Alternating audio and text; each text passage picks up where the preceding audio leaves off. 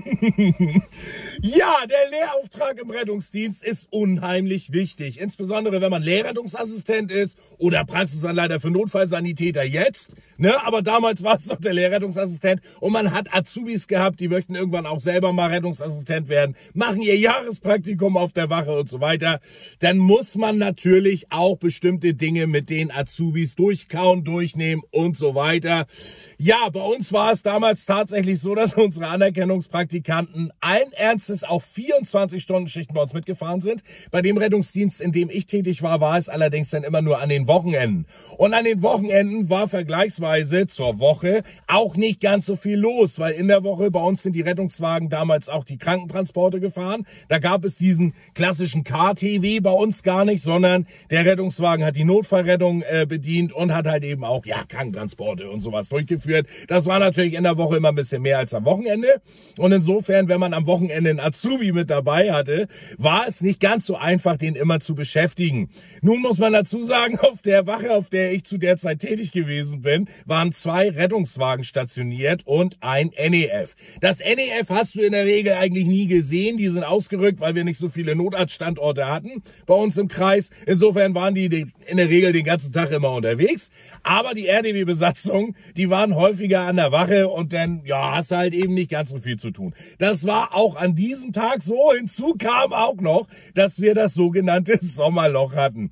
Das heißt, im Sommer ist sowieso weniger los. Die Leute haben irgendwie alle keine Zeit, krank zu werden, weil sie müssen ja das schöne Wetter genießen. Also krank werden sie in der Regel immer dann, wenn es regnet, schlechtes Wetter ist oder im Winter. Aber im Sommer, nee, nee, da, oder da werden sie dann nachts krank. Ne? Also tagsüber hat man keine Zeit dafür, weil das Wetter zu schön ist. So, und nun muss ich dazu sagen, es waren zwei Lehrrettungsassistenten an diesem Tag am Start. Einmal ein Kollege, der auf dem anderen Rettungswagen eingesetzt war und auf dem Rettungswagen, auf dem ich saß, war ich als Lehrrettungsassistent. Und wir hatten an diesem Tag tatsächlich beide unsere Jahrespraktikanten dabei. Zumindest zwei von unseren Jahrespraktikanten dabei. Also waren wir zu sechst auf der Wache.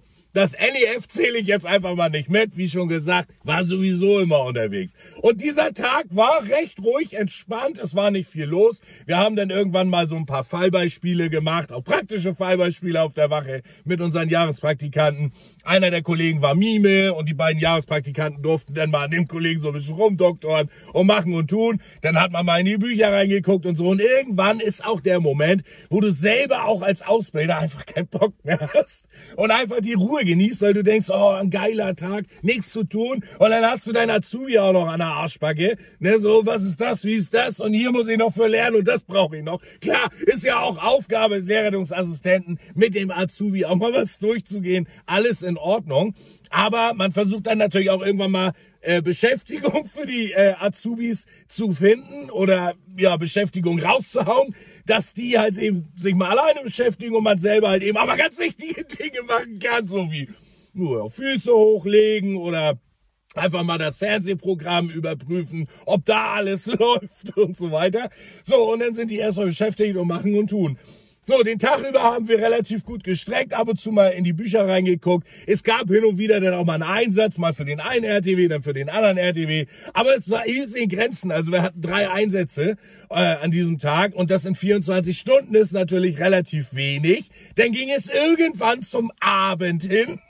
Und die Azubis fängt schon wieder an, so, was ist dies, was ist das, wie, wie läuft dies, wie mache ich das und was ist eigentlich, wenn ich dies und das machen soll. Und wir waren schon echt ein bisschen genervt, muss man sagen, so, oh Mann, muss das jetzt sein und dann auch noch am Wochenende und so. Ja doch, und das ist wichtig und außerdem ist mir so langweilig. Ach, dir ist langweilig. Und wenn der Azubi sagt, ist ihm ist langweilig, da ist es im Rettungsdienst genauso wie im Handwerk oder sonst wo auch. Wenn ein Azubi sagt, ihm ist langweilig, dann weiß er sich nicht richtig zu beschäftigen.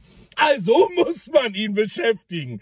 Und dadurch, dass beide Azubis ein bisschen auf diesen Nervfaktor aufgedrückt haben, so, wir wollen jetzt hier mal was machen und wir haben hier, ne, und gib mal Gas und, ne, wir wollen jetzt mal hier voller Elan und so weiter und Hummel im Moos und so, wo du denkst, oh Mann, naja gut, passt auf, Leute, wir machen folgendes.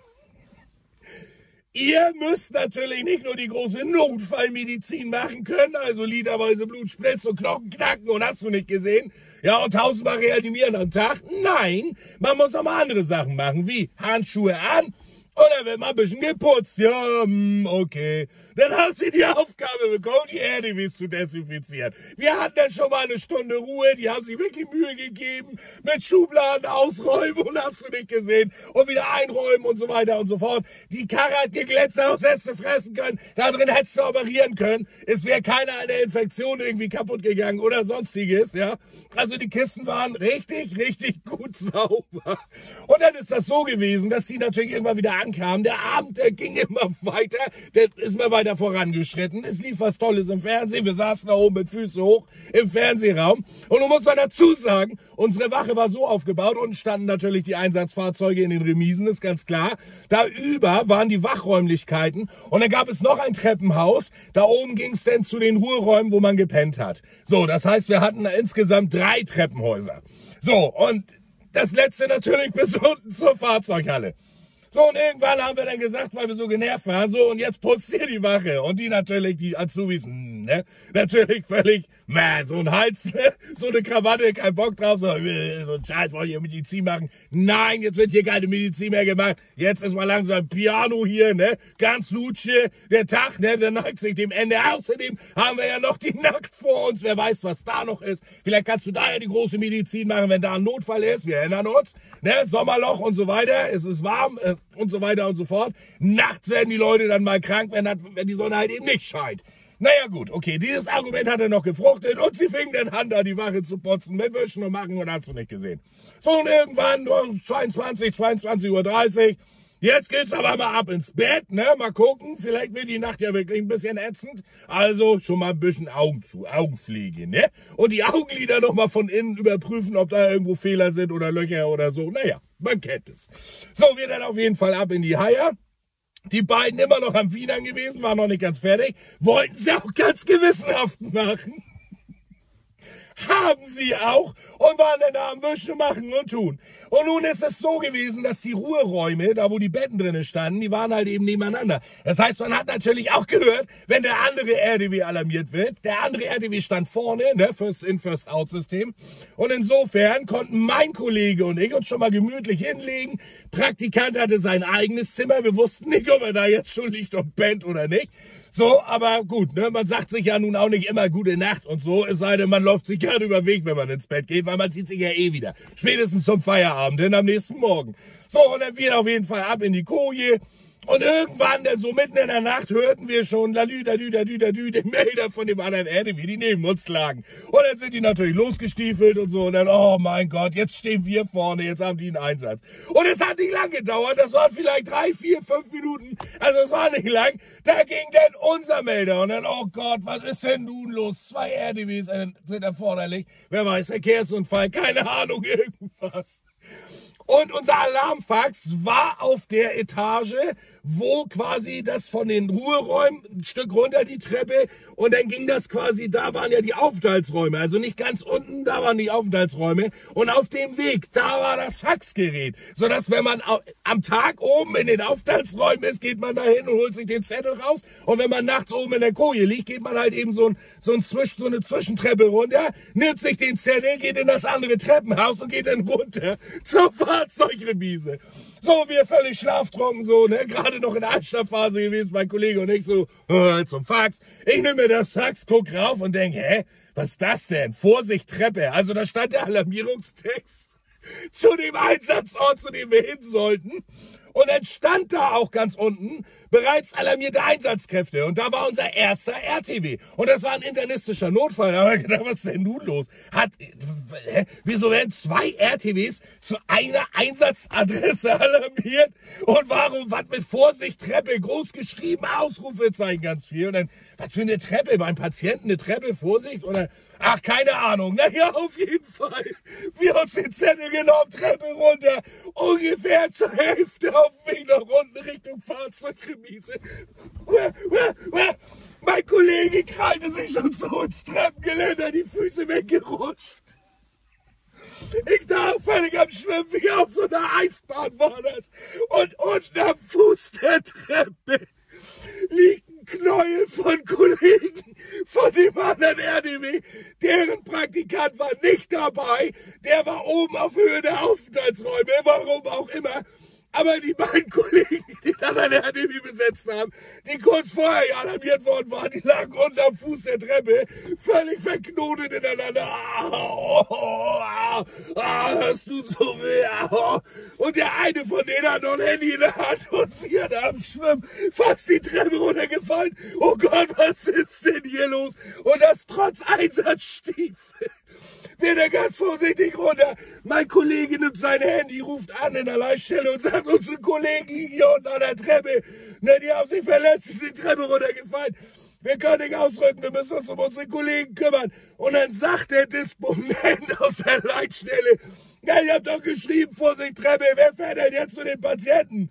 So, Ende vom Lied war, wir sind erstmal runter haben natürlich erstmal auf unseren Kollegen geguckt, die haben sich Gott sei Dank nicht großartig verletzt, ein paar blaue Flecke, Palmotome gehabt, aber ansonsten war da nichts weiter. Beide RDWs Status 6 nicht einsatzbereit erstmal gewesen, weil wir uns ja um unsere Kollegen gekümmert haben. Und der andere RDW, der ja auch zu diesem Einsatzort hin alarmiert worden ist, ist ja nicht ausgerückt, weil genau das ja nun passiert ist und die die Treppe darunter gefallen sind. Ja, was soll denn jetzt eigentlich passieren? Das ist eigentlich ganz einfach. Unsere beiden Praktikanten haben ja nun die Wache geputzt. Das heißt, sie haben natürlich auch gewischt. Und dadurch, dass sie sowieso so wissbegierig waren, ja, und immer nur gefragt haben und immer schon genervt haben hier mit großer Medizin und so weiter, wollten Sie dann nicht fragen, mit welchem Mittel Sie den Fußboden putzen sollten? Das haben Sie nämlich vorher noch nie gemacht bei niemand anderem. Wir waren die Ersten, die gesagt haben, auch bitte mit Fußboden wischen. Also sind Sie auf die Idee gekommen, haben sich Wischeimer genommen, eine halbe Tube oder so eine halbe Packung Spüli da reingemacht das Ganze schön aufgeschäumt und damit haben sie den Treppenaufgang gewischt. Und deswegen war das eher wie Schmierseife im wahrsten Sinne des Wortes. Das war wie Eis. Und als die Kollegen dann nachts zum Einsatz raus alarmiert worden sind, sind die natürlich die Treppe runtergelaufen, so wie man es immer macht. Ja, man soll auf der Treppe nicht laufen, aber eigentlich macht es jeder. Ja, es kommt ja auch immer auf die Alarmierung an. Und die sind ein bisschen schneller darunter, hintereinander ne, dicht aneinander und dann ist der Hintermann als erstes ausgerutscht, hat dem Vordermann die Beine weggehauen auf der Treppe und beide sind sie so die Treppe dann runtergepurzelt. Und einer der Kollegen hat das Handy genommen, oh, oh, oh, wir können nicht ausrücken, wir haben hier auf Wache einen Unfall gehabt. Mehr hat er auch gar nicht erzählt und hat er gesagt, dass sie auf der Treppe ausgerutscht sind.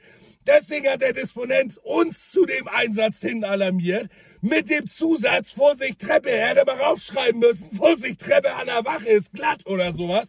Das hat er natürlich nicht da reingeschrieben, sondern nur Vorsicht Treppe, womit keine Sau was anfangen konnte. So, und wir sind auch fast die Treppe runtergepurzelt.